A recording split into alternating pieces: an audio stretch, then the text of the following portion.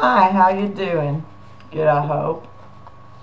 I've done some more studying on the ET thing, and like I said in my last one about Enoch, religion has a lot to do with it, and it still keeps getting mentioned everywhere, like I told you before. I'm still reading my Bible every day. Old Testament and New I have bookmarks in and read a page or two out of each one. And other books that I just seem to feel nudged toward to look up um, is is like uh, archaeology. And um, Erich von Daniken is writing some very good books about the ETs and archaeology as well. And I'm wondering, could it be that the many races might have been said to have been created by gods or mutated from the man God created by the fallen angels so they could be worshipped and called gods? Was this because some of them are so strange looking? Um, in Romans 120, it appeared to me, after I found it the other day, to be a prophecy that God would make it possible for us to see them, the invisible, with the high-tech cam vids, if the naked eye can't see it. And uh, Colossians 1, 15 through 16 tells that he created all visible and invisible ones. Okay. There is also a thing about religion in uh, Daniken's book. It makes me strongly suspect that Moroni, that Joseph Smith had contact with, was one of the fallen angels. And they tried to justify his lies by polluting God's name by inserting his son Jesus into the book of Enoch. As well, one of the things that seems to be proof was the golden plates that Joseph was given and was not able to look at for a long time, but seemed to be made by a machine which didn't exist in mankind, around in man at that time. So, the first book that I want to tell you about is The Gods of Prehistoric Man by Johannes Maringer. And it is about the religion as well. It goes through the early Paleolithic period, the upper Paleolithic period, the Mesolithic period, the Neolithic period, the religions of prehistory. And it's very telling. It made connections with me for what I read in the Old Testament when prophets had warned the Jews about worshiping these kind of idols that these other men had. And we must be missing a space of time for man to remember just exactly what was going on in between the time man was a caveman and how he evolved learning to make tools and things like that that apparently the fallen angels taught them. So, this book I find highly interesting. They talk terrible about him, the skeptics and debunkers, but I think they are some of those fallen angels or the demons they have possessing some people to be against the truth. And his his book, History is Wrong, Eric von Daniken, it makes so much sense. And I wanted to read you a little bit. He was uh, he went to study these plates. And um, or this library they supposedly had found. And he talks about the magnificent temp temples on page 164 on their way from South America into the north the ancestors of today's Mormons built many temples. This is written in the Book of Mormon even temples after the manner of the Temple of Solomon. One of these incomprehensible systems lays high in the Andes in Peru. The Temple of Chavín de Huántar. No archaeologist has a clue who built this impressive temple complex at an elevation of around 3,180 meters above sea level, so they speak respectfully of a Chavín culture. Even the dating of the building work is uncertain. Experts argue that de Huántar was a place of pilgrimage, the religious center of an unknown people that suddenly appeared in the high valley of the Mosna River and dominated the culture in the area for several centuries. A center of pil pilgrimage? Which god did the Indios make pilgrimages to? In Chavín de there are many inexplicable columns and fantastic reliefs featuring flying, flying deities. deities. Below the temple in the main square, a colleague of the archaeologist Julio C. Tello found an obelisk, which now resides in the Archaeological Museum of Lima. As no one has ever figured it out, I'll show you the engravings on page 165. Excuse me. May the light of decryption shine on you. Just as inexplicable is the Raimondi stela, also found in Chavín de Huántar, and also to be found in the Archaeological Museum, Museum of Lima. I know you can't see it on here that well, but you really ought to buy or check out this book at your library and read it. It's very informative. They even had more stuff here that he found. And these people were helping him and giving him permission to write about it, and all of a sudden they went berserk. And you can read about this in here too. This block is made of diorite, a type of igneous rock is 1.75 meters tall and is 17 meters thick. Archaeologists speculate about a jaguar god, snake, or cat gods. Makes me wonder if I should like cats. but I got one.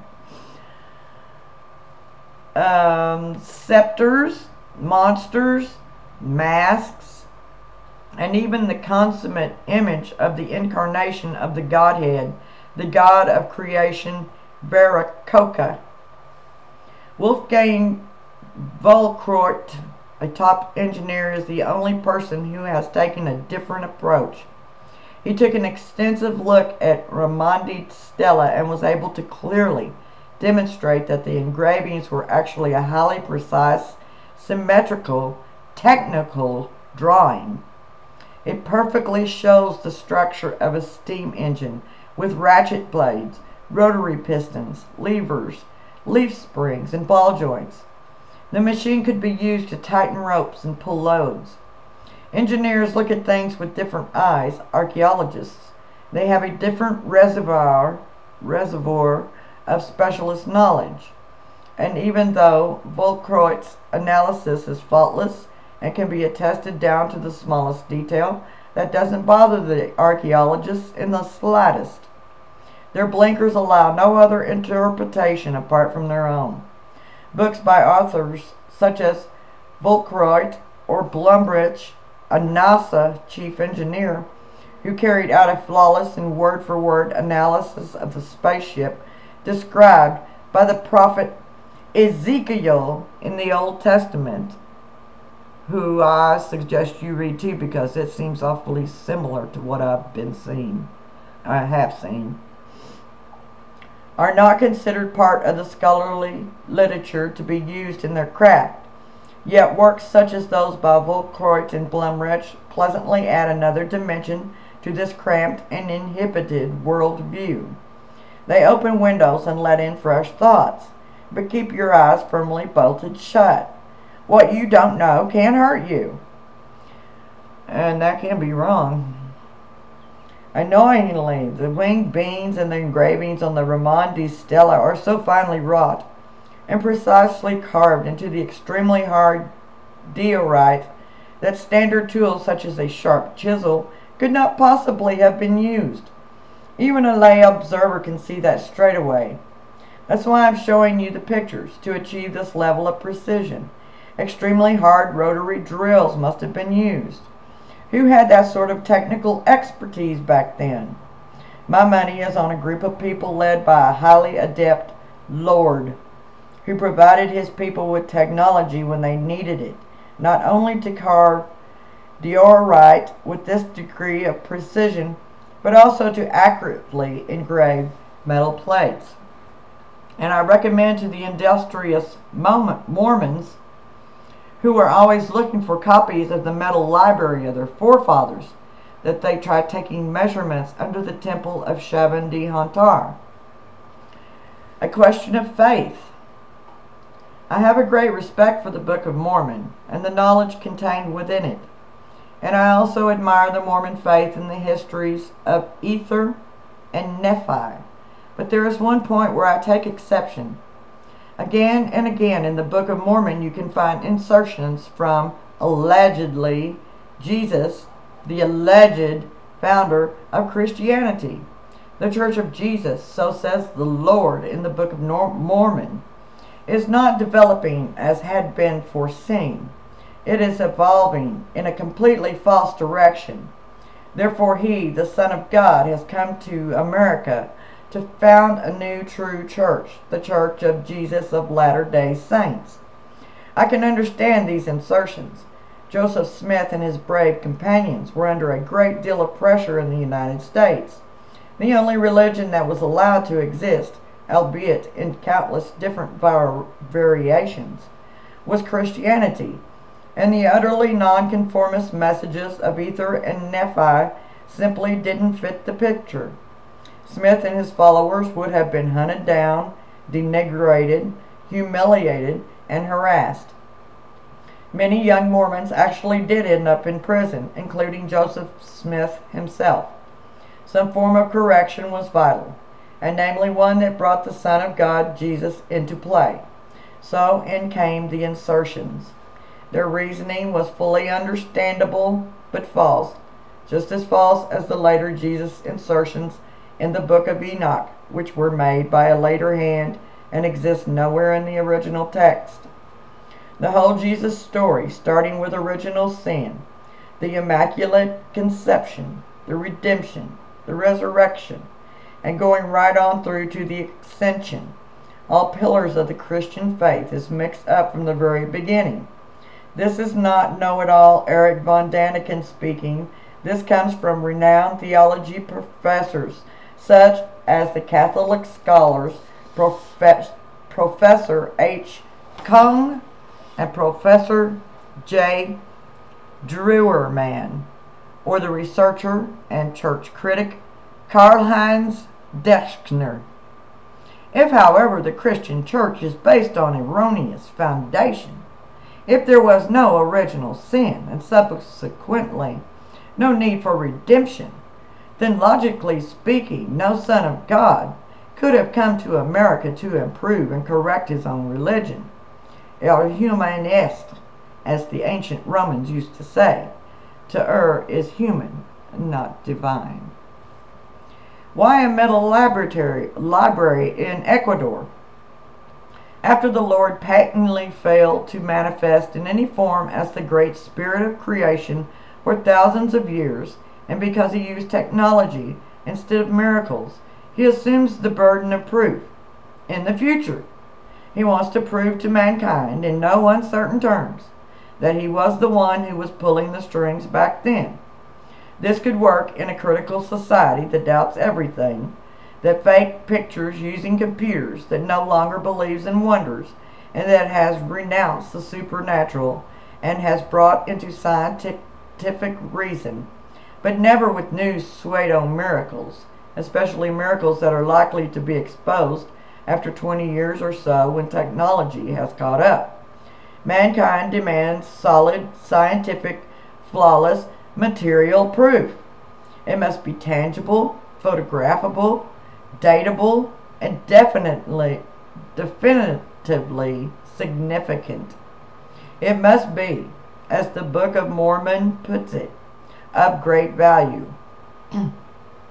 Not for the people all those thousands of years ago. We are the people being addressed. This conclusion is clearly logical, since the Lord had the plates engraved all those millennia ago, just so they could be read in the future. These proofs of the Lord are supposed to turn up when it shall be said that miracles are done away, and it shall come even as if one should speak from the dead. Mormon 8:16. With the great metal library in Ecuador, we are standing directly before this great realization. At the most, we can speculate about the motivation for this divine behavior but the messages themselves are completely unmistakable. The Lord of antiquity is not identical with the Great Spirit of creation. He, of course, would not make any mistakes in the first place, so would have no need of later corrections. So this Lord has metal plates specially made for the people of the future because he wants to prove that it was he who was pulling the strings. The great spirit of creation doesn't need to prove anything. It seems to me that these so-called gods of the past were, even then, already planning their return. And they wanted to ensure that we will respect them for what they did for us back then. They created us in their image. Mormon 8:14 FF and blessed be he that shall bring this thing to light. For it shall be brought out of darkness unto light, and what whoso shall bring it, the historical account to light, him will the Lord bless. And this is one of the things that shows why I kept flipping back and forth. It's extraterrestrials, people from another planet, but I kept getting the sense it was a man. Is a Homo sapien man in our nation able to hide high tech stuff that they've been doing to me? Or is it a male from another planet that that reminded me of the old movie the gods have gone crazy. Have you ever watched that? I really strongly suggest you do. Because that is uh, when there was a tribe in the jungle that didn't know anything going on anywhere in the world. An airplane went flying over and the pilot threw out an empty Coke bottle down there. And they worshipped it. They were so amazed by something like that, they were given a gift. And they thought he was a god. Well, our men would want the same thing to happen for them if they go off like to Mars and they uh, they find people there that's not smart in technology as uh, they are and worship them as gods. That's a big blasphemy and sin. And I just don't trust men these days. And they have to earn their trust when they've broken it long before. I pray for all you people out there that believe and have experienced these things as well. And I hope you can find as much as I do about it. And I pray for the wicked. May they repent before it's too late. You have a good night or day, wherever, whenever you are. Later.